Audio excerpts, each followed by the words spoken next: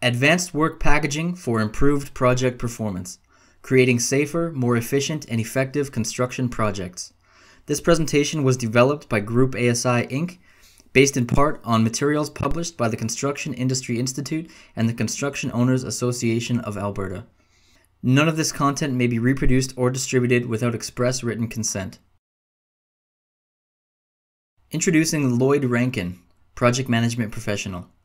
Lloyd is the president of Ascension Systems, or Group ASI, a world leading and the world's first advanced work packaging and workface planning implementation support services and training company, serving the globe with a focus on the North American construction industry. Lloyd was the principal researcher in the development of the Construction Owners Association of Alberta WFP model and was a member of the international committee responsible for development of advanced work packaging. Lloyd has spoken on the subject of advanced work packaging and workface planning in North America, Australia, China, Russia, and other places around the world. He's been a project management professional since 2002 and has over 20 years of project management experience. We encourage you to visit groupasi.com to learn more about our company and get involved in the professional AWP practitioners network in the AWP and WFP networking group on linkedin.com. And now, here's Lloyd with AWP for improved project performance. Thanks and enjoy. Advanced work packaging was developed in Alberta initially, at least the, the workface planning portion of it.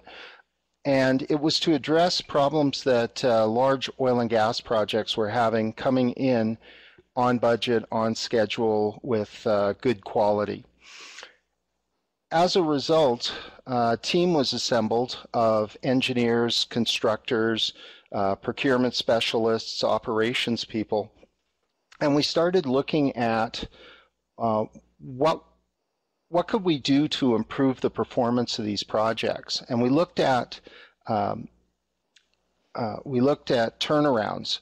Now, turnarounds was where you shut down a facility and uh, basically do repairs or changes to it and then start it up again. And because you're losing production, uh, there's a tendency to make sure that everything is extremely well organized, that the materials and the equipment are all uh, taken care of so that uh, you hit your targets.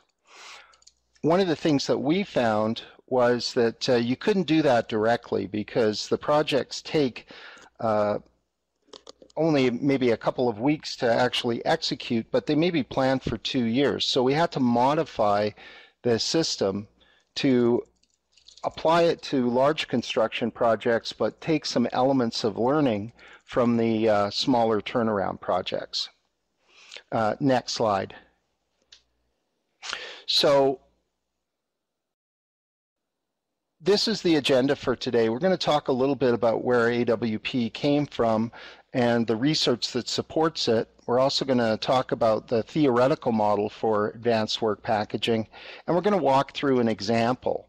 And uh, we're going to look at some of the elements of the model, uh, path of construction, interactive planning, work packaging, and constraint satisfaction. We're also going to look at what types of projects it both can and uh, has been applied to, and some of the major challenges in making advanced work packaging work. Uh, we've got really good documentation on the benefits that advanced work packaging can provide, and then we're going to try and set aside a reasonable amount of time for you to ask your questions. So can I get you to change slides, please? Okay, so uh, originally advanced work packaging was called workface planning and it was developed in Alberta by the Construction Owners Association. Um, as was said in the intro, uh, I was the researcher that helped them pull that uh, uh, portion of the research together. And basically from 2003 to 2006, the advanced work packaging uh, was limited to workface planning and uh, a draft model was created in 2006.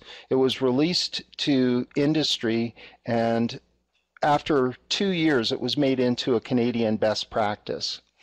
Uh, the Americans, through the Construction Industry Institute, heard about advanced work packaging or that time workface planning and spent two years studying it. Uh, they thought it was a very good process, but uh, that it would be much better if we could expand the front end portion of it. So they approached the Construction Owners Association and a joint study was undertaken. Uh, there were some Canadians involved, mainly Americans, and another uh, another number of years were spent building out the model. Uh, in this particular case, uh, we developed the model, we developed an implementation guide, uh, we developed a series of case studies, and we uh, did a validation to make sure that it actually worked and had benefit. Um, the reports that were issued were through RT 272, there were three volumes. And there was also a validation study, which was RT 319.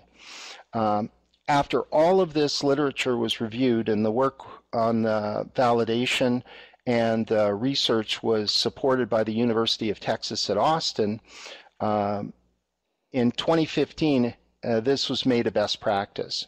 And I'll explain to you in a minute about what portion is workface planning and what portion is advanced work packaging. Can I get you to change slides, please? Okay, so when we talk about advanced work packaging, uh, I've talked about workface planning, and uh, i said that CII helped with the front end component, so that's the front end planning. Uh, this slide, which we call the surfboard slide, shows how the two connect. And um, if I could get you to just change slides, please.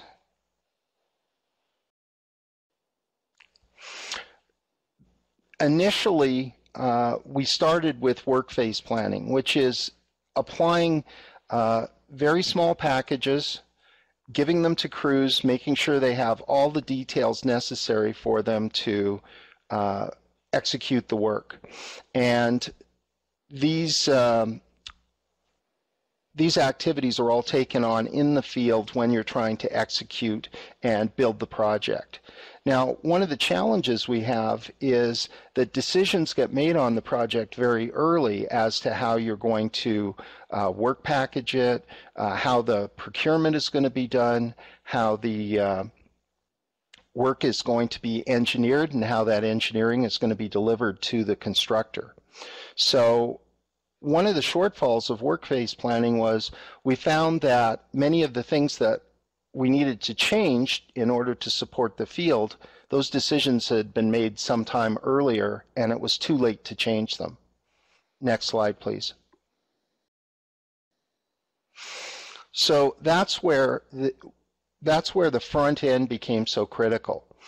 We really needed to decide early on on the project how we were going to break the project down how we were going to get the stakeholders involved in order to improve alignment. And also uh, how we were going to deliver the engineering, how we were going to deliver the procurement, how we were going to have operations involved in uh, decisions that were going to be made uh, throughout the life of the project. Next slide, please. So what we're going to do is we're going to take an example and we're going to take some of the key elements of advanced work packaging and we're going to apply them so that you can see how it all fits together. And uh, the projects that we're talking about could be oil and gas, could be power, could be chemical, or could be large commercial projects like a hospital or uh, a hospital or a convention center or uh, other large commercial projects. Uh, next slide, please. So the first thing we're going to talk about is path of construction, and that's basically just how we're going to build it. What's the best way to do it? What are we going to do first? What are we going to do second? And if you think about it, if I was going to build something the first thing I would want to do is get a team together and decide, well, what do we need first? Uh, we may need roadways to get access to the site. Uh, we may need to have power so that we can actually run other portions of the project as we move through. But we want to assemble a team of constructors, engineers, procurement folks, operations folks, and determine what the best way to build this project is. Next slide. Now, how do we do that? Well, we have interactive planning sessions where we have all of these stakeholders get together and the main interactive planning sessions, not the only ones, but the main ones, would include path of construction, constructability reviews, uh, schedule development sessions, and issue resolution meetings. We've talked a little bit about the path of construction, but uh, constructability reviews, once we've decided how we're going to uh, execute the work, then we have to take a look and say, well, does that really make sense? Uh, so an example might be I come up with a path of construction, I say this is how we're going to build it, and then as I start to look at it, I see that the way I'm building it is actually going to close off certain areas of the facility, and I'm not going to be able to gain access. Um, so that would require me to make some changes to make sure that the way I'm going to build it makes sense and doesn't create any problems for myself. As I get the path of construction tweaked or adjusted, then I'm going to use that to develop the schedules for my project. And these could be high level schedules used by the management team. These could be uh, detailed schedules uh, used by the constructor to actually assign crews. And then finally, as we go through the project, we know we're going to run into problems. And as we do, we're going to pull those resources in to resolve those issues.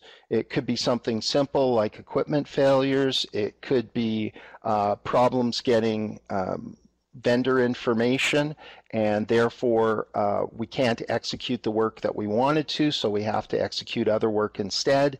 Uh, we're constantly looking back to see if the critical path uh, has changed on us and if we need to reassign resources. But we've got a team of people from different stakeholder groups that can help us with this particular problem. Uh, next uh, slide, please. So when we're looking at our project, we've got the overall project, and then it's going to break down into uh, construction work areas, which are a portion of the, the whole project. And then we're going to have engineering work packages. And these are design elements that are going to outline uh, exactly what we have to build, what standards are going to apply to it, uh, what materials are going to be required to do it, and then we have construction work packages. Now these construction work packages take all of the engineering information and then add to it how we're going to build it, what manpower is going to be required, what uh, safety issues and quality issues and rigging studies are going to be required to do the work. And then we take it down to the most granular level, uh, installation work packages, which is how we're actually going to uh, build it and instructions given to crews to actually do the work. Uh, Next slide, please. So we'll start off looking at the project as a whole. And uh, I want you to think of the project as being either an oil and gas project, a power project, a chemical project, or a uh,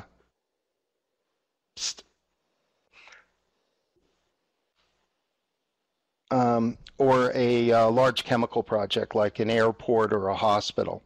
Um, we're going to have the entire project, but then we're going to want to zoom in to a specific portion of it.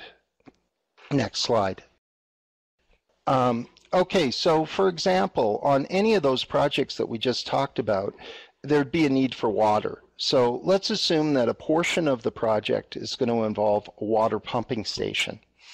Um, that water pumping station is uh, going to be critical to the overall project. Um, it's going to involve multiple disciplines because we're going to have to have civil, we're going to have to have steel, we're going to have to have pipe in order to build it. So construction work areas are multidisciplinary. Next slide.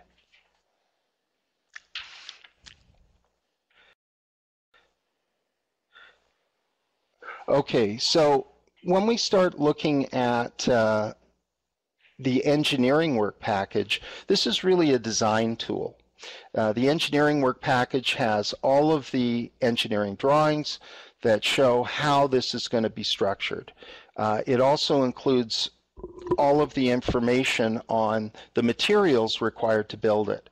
Uh, it's going to include uh, details on uh, how the specifications are going to roll out, how this needs to be built, uh, and basically it has to be designed by system. So if I'm putting together um, the water system, we're going to see that they'll go throughout the entire project. Now later on we can start carving it up and saying, well, wh what are the ones that relate just to the pumping station? But when the engineers are designing it, they have to look at the whole system. Now, one of the challenges that we're having with this is uh, while the engineers need to design it by the entire system, the constructors want to have the material at certain times so that they can build it. So you've got construction wanting only parts of the information and the engineers trying to design it as a larger uh, system. Next slide. So when we get to the construction work package, this is a different uh, document than the engineering work package. The engineering work package talks about what do we need in that system? What are the drawings? Uh, but when we get to construction work package, we're now thinking of how many people do we need to build this? What are the quality requirements? What are the safety requirements? Um, how do we get that stuff in place? So rigging studies. Uh, so we're going to find that the uh, CWP is a, a, much more detailed document. And um, one of the things that might be helpful to you is in the RT272 uh, volume 2, which is the implementation guide, it actually gives samples of what you would find in a CWP. And uh, there's 21 different elements in a CWP, and there's a template available within that uh, particular document. Uh, engineering work packages have fewer elements, and they're also discussed in RT272. Uh, you can get those from the Construction Industry Institute. If you're a member, uh, they're free. If you're not a member, you have to pay for them. Um, but one thing I would suggest is uh, this is what we do. This is the only thing we do.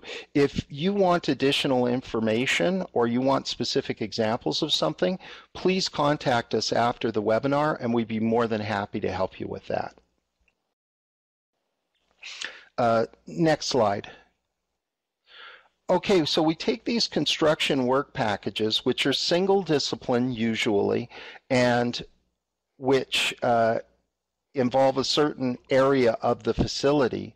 And then we break that down into smaller packages called installation work packages. Now these are crew level packages that we can give to uh, specific disciplines and say, we want you to go in and install this pipe.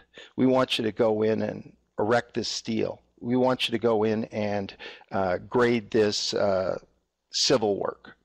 And the information that's provided to uh, these crews is extremely detailed. It uh, lets them know what materials they're going to require, what work steps are going to be required, uh, how they're going to actually do the work. And if you think about it, when somebody is trying to do typical construction, uh, you know, renovation in your basement, the actual work isn't that hard making sure you got all the materials, all the equipment, all the permits, everything you need to do the work, that's critical. And if we're missing any of those things, it's going to cause delays, it's going to cause confusion. And we want to make sure that we know that the work that other groups were supposed to do has actually been completed before we send a crew out to do the work. So it doesn't do me much good to send a crew out to erect pipe if the steel isn't up yet. So there's a, a lot of coordination that's required to make this work. Next slide.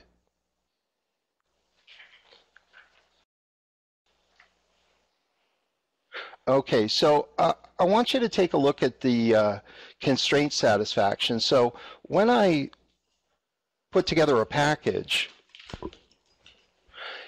in the package there's going to be engineering. I want to make sure that that engineering information that's going to the crews has no holds on it, that everything is actually executable. I also want to make sure that they have the right materials. And those could be tagged items, uh, things that are specifically identified. Those could be bulk items, but they have to have all the materials they need to do the build. We also want to make sure that the scaffolding has been not only identified, but that it's actually been done as effectively as possible. On some projects, we can see that 40% of the expenditure is actually on scaffolding. Now that's temporary structures that aren't even going to be around once the once the system is built.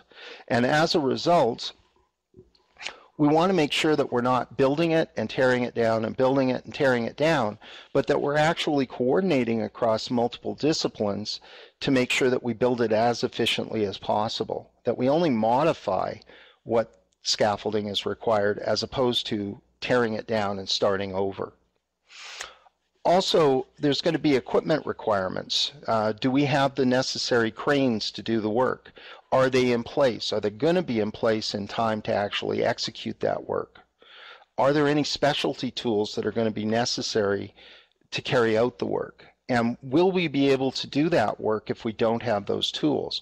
So we want to make sure that any of the items that are going to cause us problems are actually going to either be in place or are in place when we're doing the work.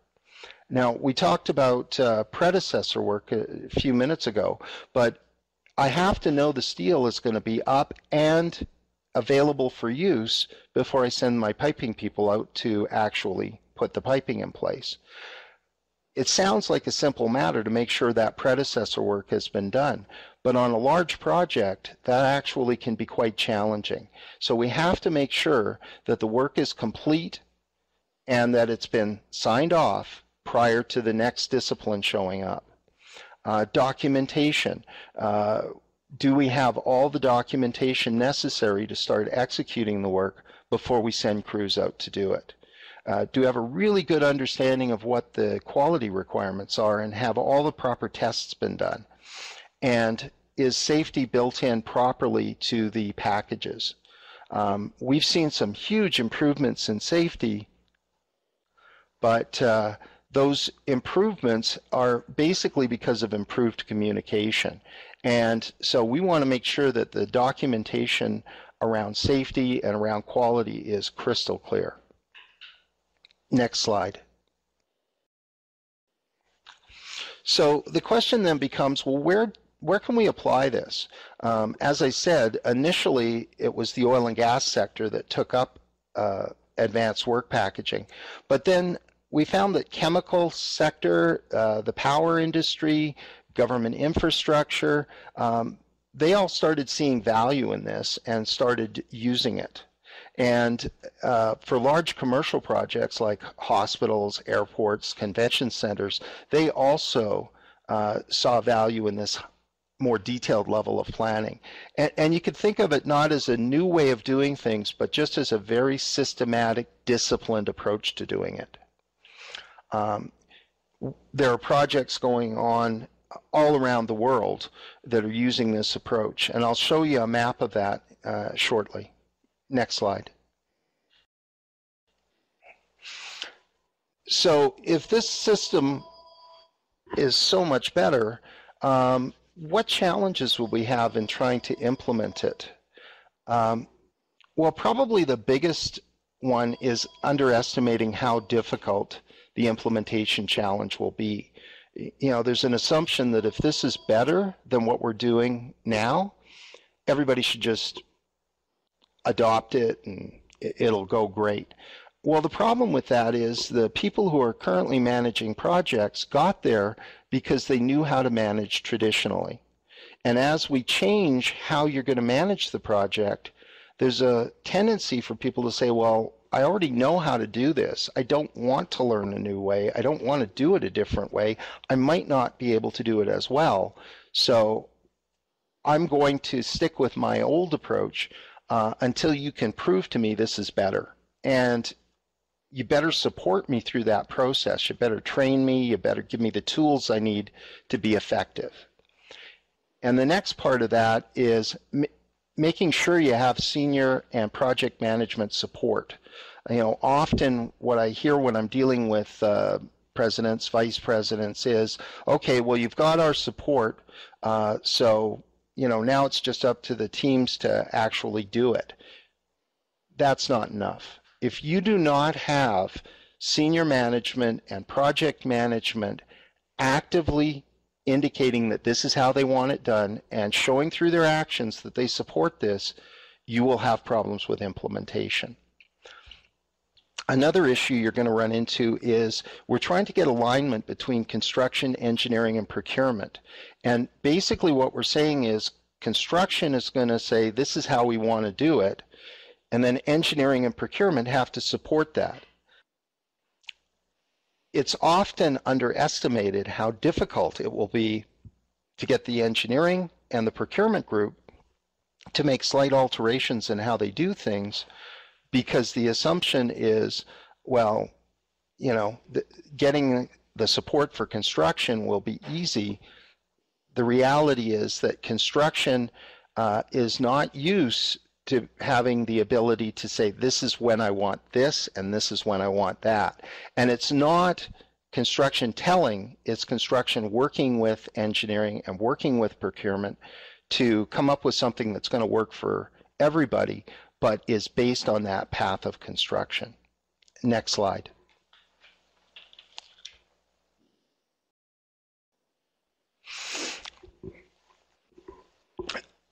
So one of the things that tends to happen is as we put in these new processes and new systems, there's going to be some changes to how engineering works, how the supply chain works, how project controls work.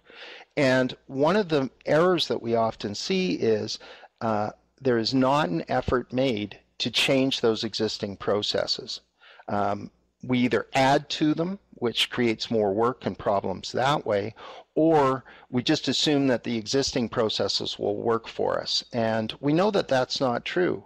Uh, we're not saying there's huge changes, but where there are changes required, we need to have them captured in policies and procedures. Um, the other issue is that we may be creating brand new processes for an organization, and we have to make sure that those processes are again documented and that everybody is trained in them so they understand what it is that they're being asked to do and the interrelationship with other parts of the organization. Um, the next thing we find is that often there's no checking for compliance. And what we mean by that is uh, we put a new system in place, people are trained to do it. Are they actually following those procedures? Now, when it comes to safety, when it comes to quality, we do this routinely. But if we're going to make this stick, we need to make sure that we're doing that kind of compliance checking for advanced work packaging. The other thing is we have a number of people on the line from all over the world. And the way we do things in different countries is slightly different. It could be different for legal reasons, it could be different for cultural reasons, but we have to adapt our systems to make sense for the type of project we're doing and the location we're doing. And often where organizations don't do that, they run into problems. They come up with a system that makes perfect sense for North America, but then when they do a project in India, it doesn't quite fit. So again, this is something I hope we can talk about during the Q&A. Next slide. When advanced work packaging was developed, uh, there was something created called a maturity model, and it's available in the RT272 document. It, it's a very simple two-page document to tell you where am I in the maturity of my AWP system. And there's three levels, uh, early stages, which is basically where everybody starts out, AWP effectiveness, and that's where we're doing a number of the elements, but not necessarily everything, and AWP transformation, and that's where uh, we're we're seeing that it's just how we do business. It's uh, it's culturally embedded at that point. point, and there was a study done through the University of Texas at Austin to look at a number of projects that were in the three levels of maturity and then assess what their performance was. So next slide, please. You can see here that when a project is at the first level of maturity, uh, these are the results that they get. And they looked at performance in terms of productivity, cost, safety, schedule, predictability, and quality. And they established where those particular projects fell out in terms of those six indicators. Now, if we look at the next level, uh, next slide please, we see that as you move to a more mature system, all of the performance indicators improve. Productivity goes up, cost containment gets better, safety improves, uh, schedule improved, predictability improves, quality improves. So by moving from the first level of maturity to the second level, we see improvements in all of the performance indicators. Next slide. When we move from the second level of performance, effectiveness, to the third level, business transformation, we see that all of the levels either stay or improve. And the two levels that continue to improve are quality and predictability. So when we move from effectiveness, which is pretty darn good, to business transformation, the two areas that we see additional improvements in are quality and predictability. Now, all of this is fine, but you're probably saying, yeah, but how much did it change things? Next slide, please. Well, um, these are the improvements that we're seeing. Uh, now, a TRIF rate is a total recorded incident frequency rate, and it's basically uh, related to safety and it's related to people being uh, injured. And we've seen on projects with millions of man hours TRIF rates of zero, which was unheard of 10 years ago. Um, and that's been attributed to the use of advanced work packaging. We've seen productivity of labor improved by 25%, and that's well documented now. And we've seen total installed costs improve by 10%. Um, this is all available in the RT319 documentation. We've also seen that the uh, we've also seen that the uh, rework has been reduced, that schedules have been improved, and predictability has been improved. And you know, just from a personal note, we did a project in um, 200 miles from the Arctic Circle, and uh, they kept going back to the uh, senior management team and changing their prediction as to when things were going to be done and where they were. Uh, we got brought in as consultants to support them, and we were able to give them accurate information. It, it wasn't necessarily what they wanted to have to tell management, but it was accurate now. So predictability is one of the things that's really critical. As a project manager, I don't ever want to have to go back to the management team multiple times with different statements about what's happening. Uh, whether it's good or whether it's bad, you want to tell them this is where we are, and you want it to be accurate. Next slide. Now, there was a project that was done in uh, uh, in the Middle East by uh, a joint venture between Dow and Saudi Aramco. Uh, and this was uh, what's called a giga project. It's actually a $20 billion project. And uh, they actually brought in the project director to talk about the project at the last uh, Construction Industry Institute conference. And at that conference, they indicated that uh, according to IPA, 80% of giga projects end up 100% over budget. So what that means is if you've got a $20 billion project, there's an 80% chance it's going to turn into a $40 billion project. That's not great news, but that's that's how it works. Um, with the Sadara project, the project team reviewed the 17 CII best practices and then decided to apply all of them that they could to the project, and that included advanced work packaging.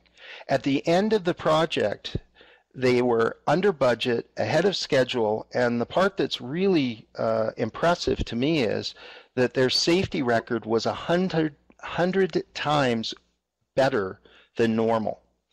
Uh, TRIF rate of 30 is normal in the construction industry. A TRIF rate of 3 is normal for typical CII projects. The Sadara project had a TRIF rate of 0.3. So it was 100 times safer. And I think that's uh, what we, we want to do. By using a systematic, structured approach, we want to get better performance. Next slide. So advanced work packaging may have started in North America, but it's actually been expanded to the world. Uh, there are projects in Australia, in uh, the Middle East, in South America, uh, frankly, all over the world that are using some form of advanced work packaging. But uh, uh, basically, what you'll find is it's now being used in North America, South America, Australia, um, Brazil, Europe, and China. Uh, it's pretty much harder to identify where it's not being used than to identify where it is being used. Um, okay, so um, what we're gonna do is we're just gonna take a minute to sort, uh, look through the questions. There's a lot of questions that came in, and Lloyd's gonna pick some of the some of the ones that stand out, and he's gonna try to his best to answer them. So let's just take a pause. Okay, so um, Marion's asked what books there are on this matter, and uh, the best resources are um, there's there's four books that came out of the RT series. There's uh, the first one, RT 272 Volume 1, which is the model itself. RT 2 Volume 2, which is the uh, implementation guide, and that's a really critical one. There's lots of good templates and flowcharts there. RT 272 Volume 3, which is case studies associated with advanced work packaging. And then there's an RT272, sorry, RS272, which is a research summary. And it's a very short document, but it highlights everything that we know about advanced work packaging. Um, there's one other document that could be useful to you, and that's RT 319 and that's the validation study. It was the one that actually caused advanced work packaging to move from a uh, recommended practice to a best practice. Okay, uh, next question. Um, and I'm looking at, uh, okay, uh, so one of the questions is from and I apologize for mispronouncing your name, but uh, um, Balaji, uh, he's asking uh, about modularization and uh, how that relates to advanced work packaging. Modularization is absolutely considered when doing advanced work packaging. It falls under the area of constructability, uh, and uh, we are uh, making decisions as to the best way to build the facility. Uh, in Alberta, uh, we have uh, small modules and we have larger modules that we can put into a facility. And uh, when we were importing modules from the States, because of the transportation issues, we actually had to have smaller modules that we would build into bigger modules on site.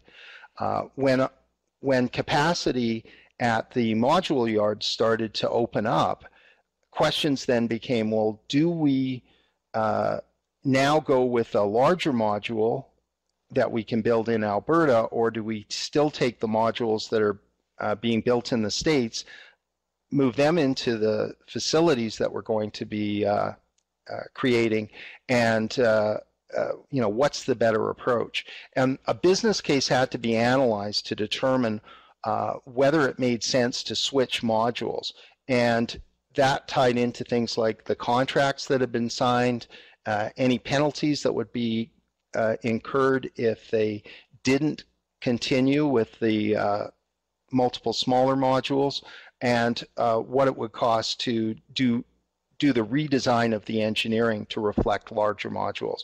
So this is very fluid. As we go through the project, we have to um, we have to consider uh, not only what makes sense when we first plan it, but as we start to execute. Okay.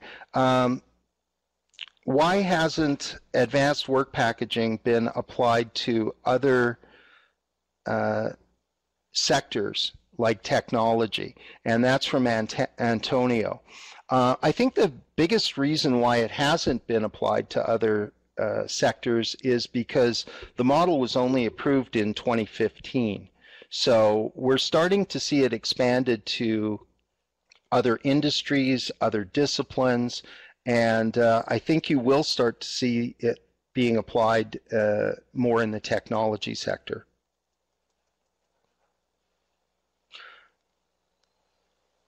Okay. Another question that we've got is from Visanthian. Uh, he's asking, uh, since most of the project construction uh, will be awarded to subcontractors during the procurement stage of the project, how will it be used on mega projects?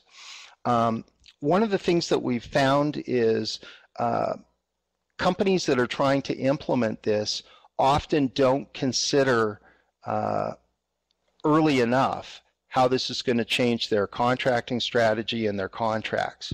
So one of the questions that we have to ask ourselves is, can the companies do this? So that gets into vendor pre-qualification. What are we requesting of them? That gets into the contracts that we actually develop. Um, what type of contracting strategy is this? Is it a lump sum? Is it cost reimbursable?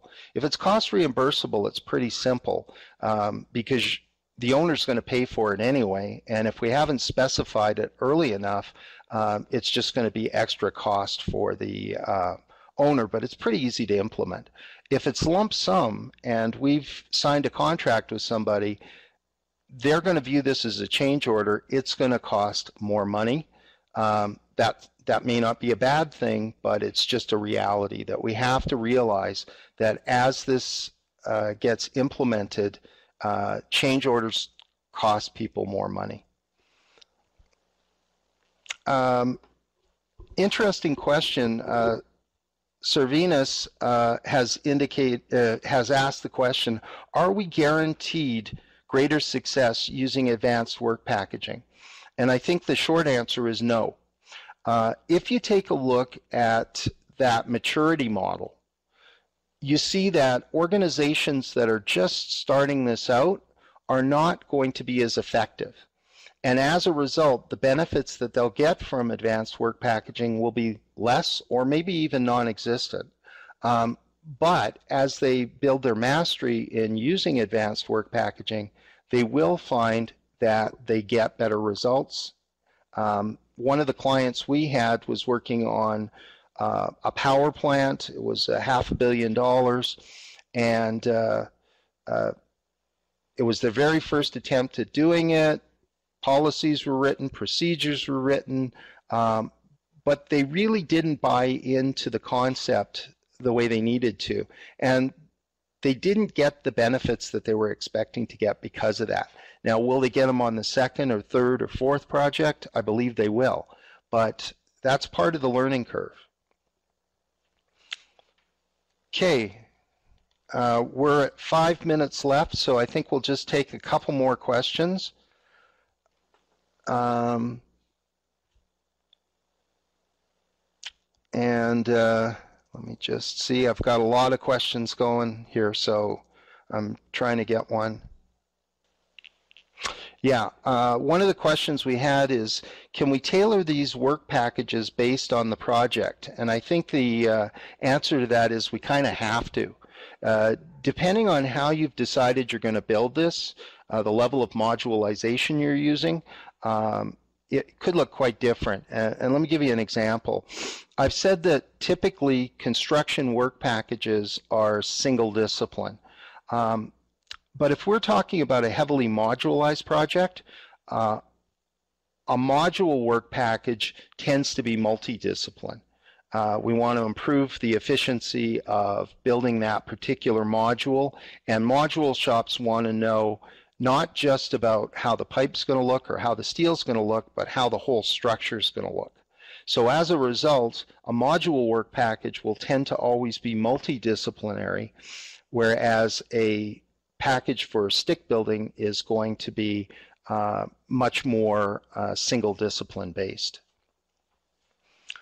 Okay, let me uh, let me pull up one more question. And uh, I just want to thank everybody for uh, their understanding with some of the technical issues that we ran into. Um, oh, interesting. One of the questions uh, that was asked was, who certifies you for the AWP maturity model. And there's really two ways of doing this. The, the first way that everybody should do it is a self-assessment. So you want to, whether it's a subcontractor, whether you're an owner, you want to go through, read over the maturity model, and then self-assess where you are. Um, but then the second level is to bring in um, resources, and those could be from an owner, from a contractor, they could be an independent consultant like myself, to give you a, um, an independent view of where you're sitting right now. Uh, we frequently get asked by um, multinational companies to come in and take a look at where they are and then uh, give them a, a, an independent second opinion.